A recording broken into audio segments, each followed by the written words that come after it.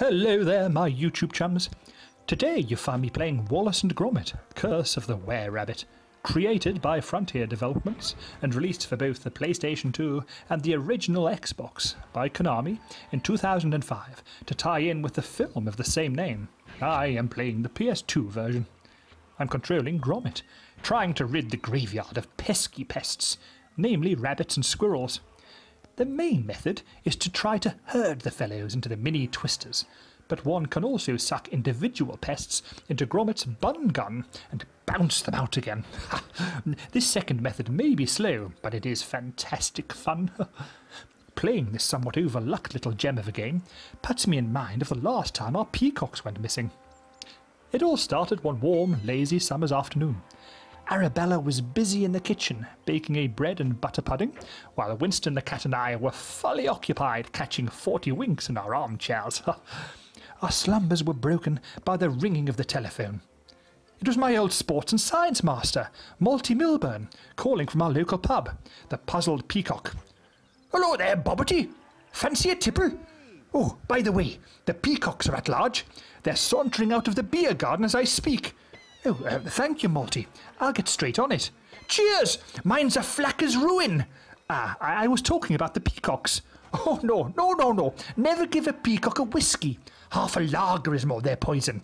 Um, I'll call you back. It was not the first time this kind of thing had happened. When nothing much is going on at Fortescue Towers, our peacocks take it upon themselves to wander off the grounds in search of a bit of excitement. Alf, the alpha male, always leads the way, strutting and sashaying along the winding country lane which leads to the village, in order to show off. They delight in flaunting their feathers, egged on by the gasps of delight of the enthralled villagers. On this occasion, we put into action a plan which had been masterminded by Bunty Norris. Still buoyed up, having successfully completed a computer programming for beginners course, and undeterred by that fortunate incident with the lawnmower, Bunty had used his digital wizardry to soup up his beloved bicycle. He had bought a GPS system and customized it to track the movements of the peacocks, having fitted a micro transponder to Alf's leg. Bunty's own high tech device was secured to his bike's handlebars with sticky tape and string. Bunty could not fail in his mission to bring the pride of peacocks home. Knowing that Bunty was cycling that afternoon, I placed the call. Fortescue to Norris, Fortescue to Norris, it's time for Operation Ostentation. The peacocks are on the move. Over. Hello? Fortescue to Norris, are you receiving me? Over. Hello? It's Bobbity. You need to put me on speakerphone, Bunty. We must round up Alf and his squad. Hello? Eventually we connected, and the information was relayed. Bunty pressed his muster button and was on his way. What could possibly go wrong? At first, nothing did. Bunty followed the blip on the screen of his gizmo and zeroed in on Alf, who was looking very pleased with himself, preening and pouting in front of his audience. The rest of our feathered friends, however, were nowhere to be seen. They had all wandered off in different directions, and Bunty was in a flap. Uh, what was to be done? As per usual, the helpful villagers rallied round. Every garden chair was checked, every shrub was shaken, every pagoda was prodded. One peacock was discovered looking longingly at the pasties in the pie shop window.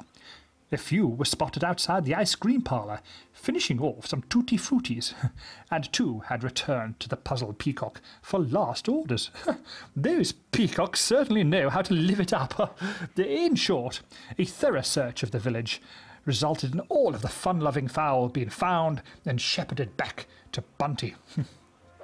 Arabella, Winston, and myself stood at the gates of Fortescue Towers to form a welcoming committee and clapped and cheered as Bunty cycled towards us like a peacockian Pied Piper, with the birds swaggering proudly in his wake. a happy, or perhaps that should be flappy, ending all round. Hmm, oh, not bad. Yes, maybe just one more go. I bet there are a few hiding in that cabbage patch. Ah. if you've enjoyed this video, please subscribe, tell your friends, like me. Until next time, this is Lord Fortescue saying Toodle Pipsy and hello? Hello? My YouTube chums?